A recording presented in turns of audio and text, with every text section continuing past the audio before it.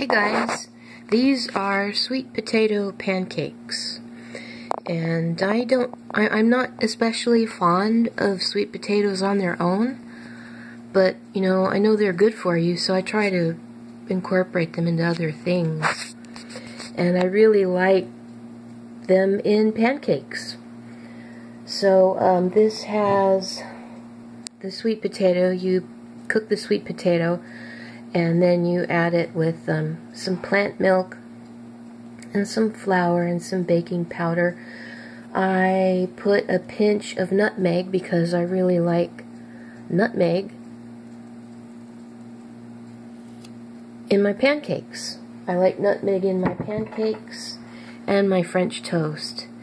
And um, let's see, I used a little bit of just egg because I went, when I went to Sprouts, I stocked up on the Just Egg, and if you once you open up a bottle, you have to use it up. It, it keeps for a long time if you don't open it, but once you open it, you have to use it up in seven days.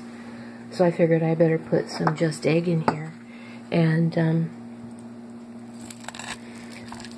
cook them over medium heat, very slowly. You have to be patient with pancakes and French toast and waffles and all those things. You don't want them to be um, burned on the outside and mushy on the inside.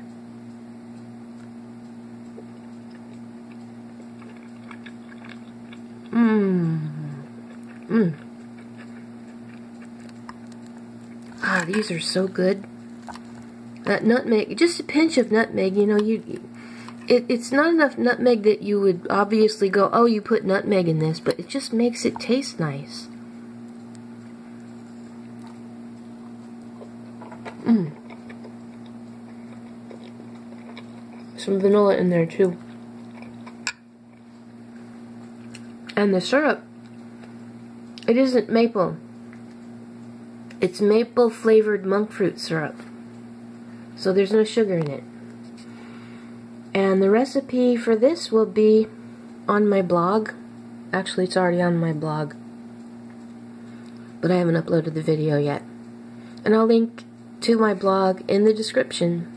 See you later, guys.